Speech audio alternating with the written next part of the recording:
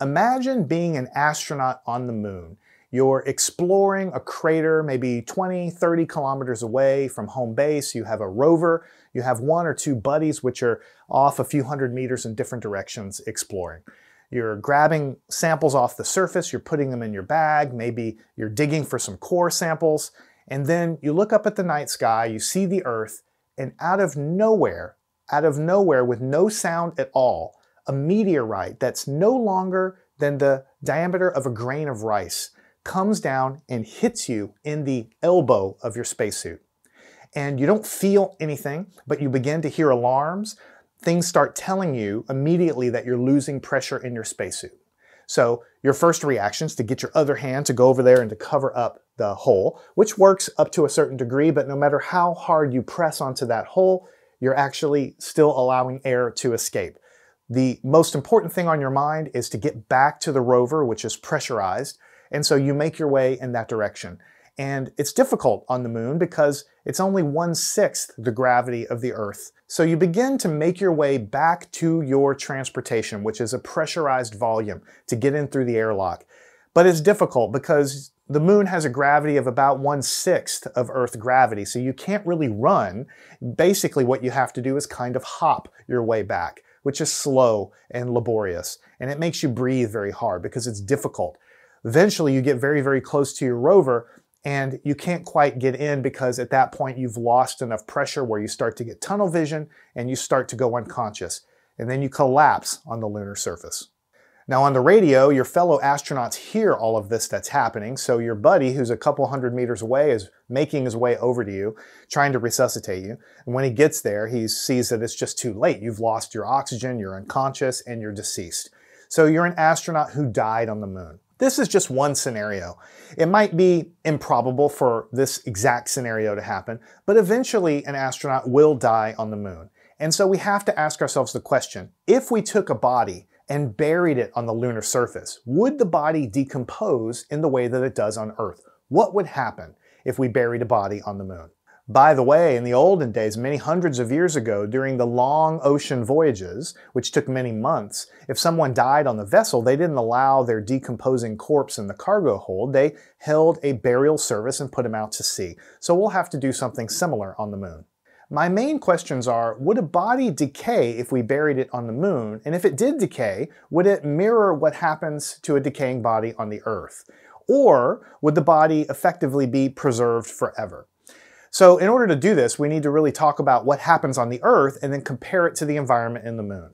Now, first of all, we are actually made, of course, of cells, but by weight, all of us are about 60% water by volume. Just think about that. 60% of everything in your body is water. Your cells have membranes on the outside effectively filled up with water. And so every cell in your body has water and a lot of other things on the inside. Now I'm going to warn you, we're going to talk about decomposition here, so if that bothers you, you might want to stop the video right now. Now, after humans die on the earth, we slowly lose water. You know what happens to a glass of water without any fire, any boiling. The water eventually evaporates and disappears. A similar process happens in your body along with the decomposition. We're going to slowly become dehydrated on earth in parallel with the decomposition. We're going to be losing water out through every pore of our body. So what follows here is a quick timeline of decomposition as it happens on the Earth, and then we'll be able to compare it to what might happen on the Moon. Keep in mind that everything is affected by temperature and by water content, pH of the soil if you're buried in the ground, and so on. In general, when things are hot, warm temperatures drive everything to happen faster. Cold temperatures slow everything down. Also, more water content, moist environment allow things to speed up, and very dry environments also slow things down. Now, immediately after death, is a process called algor mortis. This is similar to rigor mortis, the way it sounds, algor mortis. That's just when the body's temperature is regulated up at normal body temperature, it begins to fall down to the temperature of the environment. And shortly after that, again within hours, something called rigor mortis sets in. Rigor mortis is basically when the muscles stiffen up and don't become pliable anymore. It's due to the ATP in the cells being completely depleted. ATP, remember, is adenosine triphosphate. It's the chemical we have in all of our cells that stores energy, and basically we can tap that energy source to move and to do things. But once all the cells begin to die, respiration stops, ATP is exhausted, and the muscles begin to stiffen up. That's called rigor mortis within a couple of hours after death. Now, after several hours, up to many days after death, something called autolysis sets in. That's when the enzymes inside of your own cells begin to break down the cell walls from the inside because the purpose that those enzymes originally had, they're not executing on that because the person is deceased. There's no more respiration or metabolism. So those enzymes begin breaking down structures from the inside. Now, don't forget that we're full of bacteria inside our own body, especially in our intestinal tract. Those bacteria are part of our life cycle and they have purposes and uses for us. We need bacteria in our gut. But after death, when respiration stops, those bacteria begin to multiply. Water is, again, being released from the cells as the cell walls begin to break down. And so the bacteria begin to multiply and they begin to metabolize and break down the structures from the inside out. And in the process of doing that, they release a lot of gas, usually hydrogen sulfide, methane, and other gases. And so after a period of time, you start to see a lot of bloating in the human body from the gases that are produced on the inside from the bacteria. I know it's kind of creepy, but around this time your skin begins to flake off and sort of disintegrate. And also your eyes begin to get cloudy and glazed over because the corneas are drying out. Now, after weeks happen up to many months, the internal organs again continue to break down, and that process mostly reaches its conclusion. Now, around this time, the skin begins to take on sort of a waxy-like appearance. And also, it appears that the nails, the fingernails, toenails, and also the hair, it appears as, it, as if it continues to grow. But actually, as an aside, it's a common myth that fingernails and hair continue to grow after death. That doesn't happen. What's really going on is the the skin just surrounding the fingernail begins to shrink. Remember, we're losing water, things are becoming decomposed, and it's sort of retracting back. So it makes the nails appear as if they have grown longer, when actually it's just the skin shriveling up. Same thing is happening to the scalp. Scalp is shriveling up, hair appears to grow longer. The hair and the nails do not continue to grow after death. Now during this whole time, I haven't mentioned anything about insect activity, which are also continuing to break down structures. It's a little gross, so I skipped over it. But also, that process is wrapping itself up after a few months into several years. By that time, all of the organs are gone. What mostly remains is the skeletal remains, and the skeleton can become calcified and harden up. It also becomes a little more brittle over time, but it can mostly retain the shape of the skeletal remains of a human for many hundreds of years and even many millennia. You know, we can see bones from people that we can dig up that we know are many thousands of years old, and we can still see the bones there. Of course, the whole process can be slowed down. This entire process of decomposition can be slowed down, as the Egyptians teach us and other cultures, by mummifying people right after they die. And the process of mummification is basically trying to remove as many internal organs as possible to lower the count of the bacteria, to dry everything out, get rid of the water so that the internal bacterial decomposition slows down. Now, I haven't mentioned much about the type of bacteria. There's two main kinds of bacteria that break down bodies. One is called aerobic bacteria, which requires oxygen to metabolize and break it down. And the other kind is called anaerobic bacteria, which do not require any oxygen. The reason I bring it up is because on the moon, we don't have any oxygen. So even though we have anaerobic and aerobic bacteria breaking down the internal structures, both kinds of bacteria require water. So if we don't have any water, then those bacteria can't do anything. And of course, we know there's very little water on the moon. We'll talk about in just a minute. So now let's turn our attention to the moon. What is it actually like on the surface of the moon?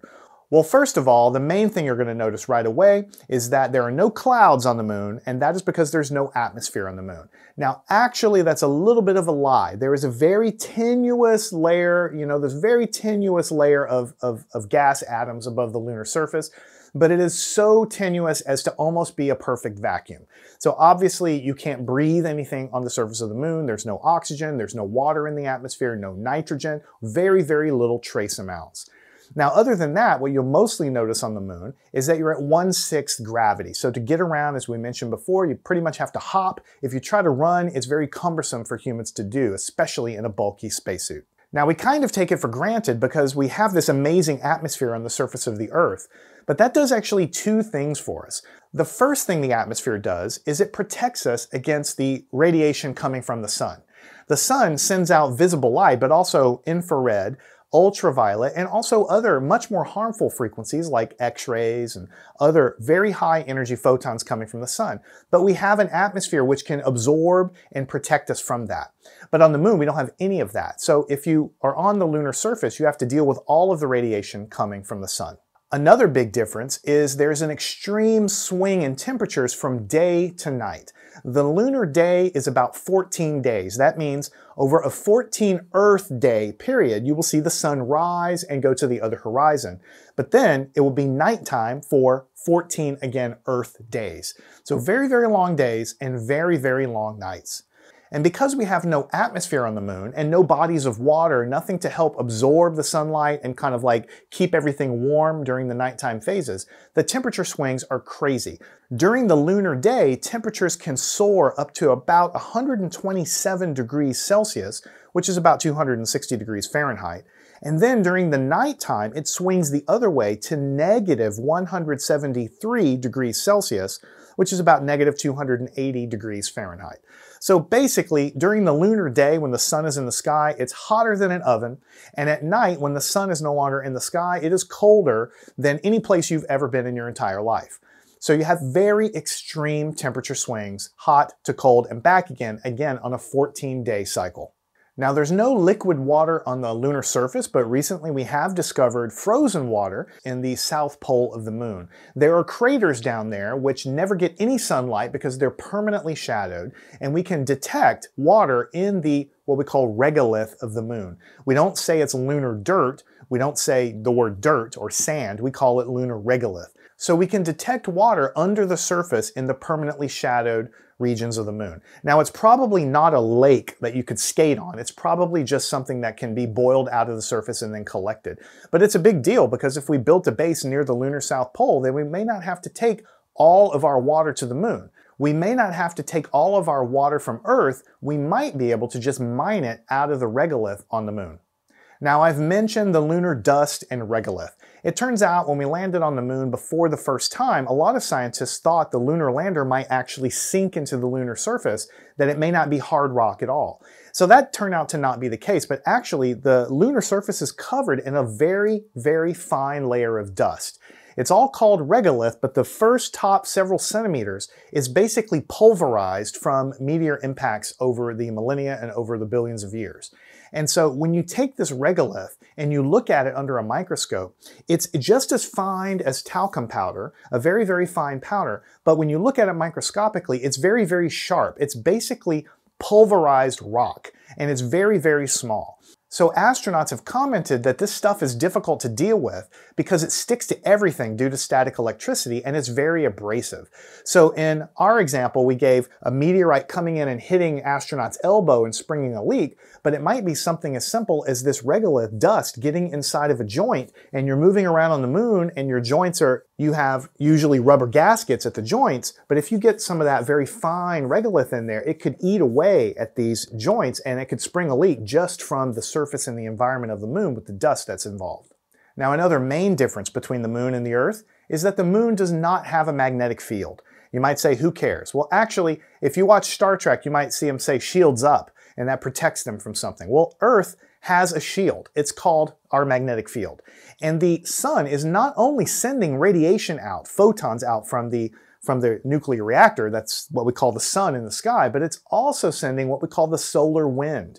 Very high energy protons and electrons and other ions are just streaming in all directions from the sun. And when they hit the earth, fortunately, above the atmosphere, they're hitting our magnetic field. And they get trapped in the magnetic field and they don't make it down to the surface because these high energy particles would actually damage or make it maybe even impossible for life to exist here. But our magnetic field protects us. On the surface of the moon, there is no magnetic field, so in addition to all the radiation hitting from the sun, the x-rays, everything else, then we have the solar wind constantly impacting the lunar surface. Lastly, there's no life on the moon. Not a single bacteria has been detected when we looked at all the moon rocks, digging down, looking for life on the moon. As far as we can tell, there's no life on the moon. So that's a main difference.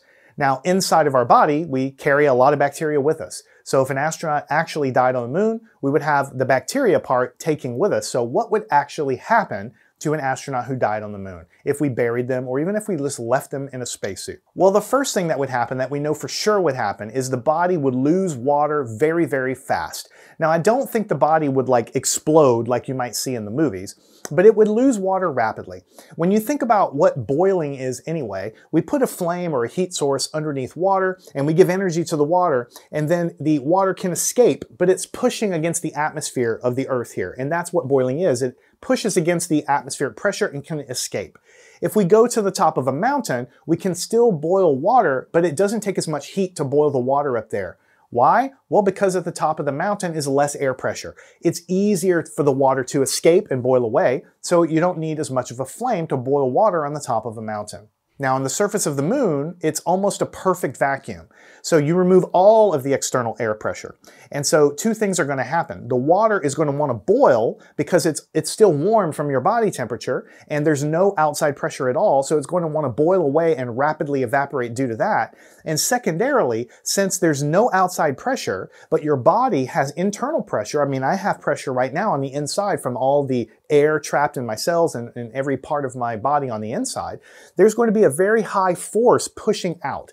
Again, I don't think you would actually explode, but what would happen is the water and all of the dissolved gases would very rapidly push and want to get out of the body.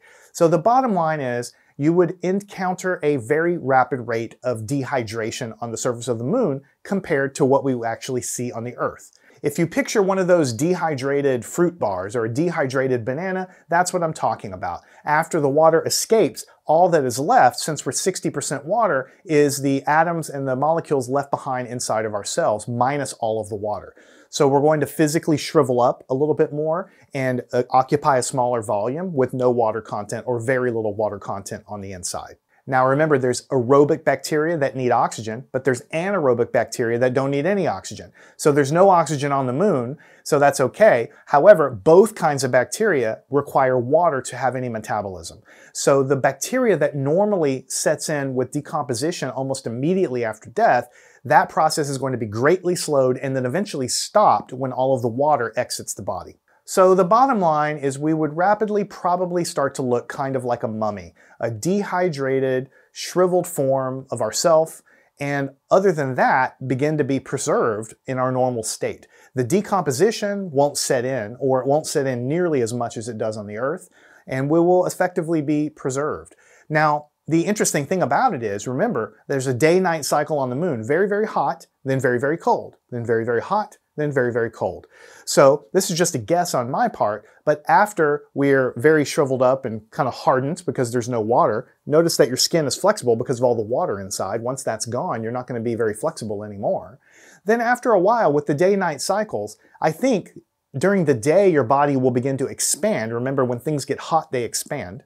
And then when things get cold, they contract. So you'll expand and contract microscopically during the day-night cycle of the moon, and I think eventually, over some long period of time, I think that eventually, over some long period of time, it'll probably start to disintegrate or turn to dust because of the expansion and contraction. Although I can't prove it, I suspect that's what will probably happen. So the bottom line is we'll be dehydrated and eventually turn to dust on the moon.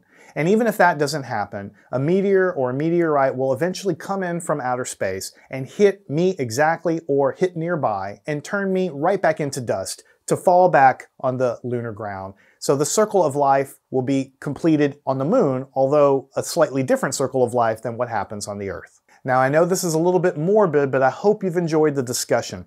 If you're a fan of science and engineering, I hope you consider subscribing, and I'll see you in the next one. Learn anything at mathandscience.com.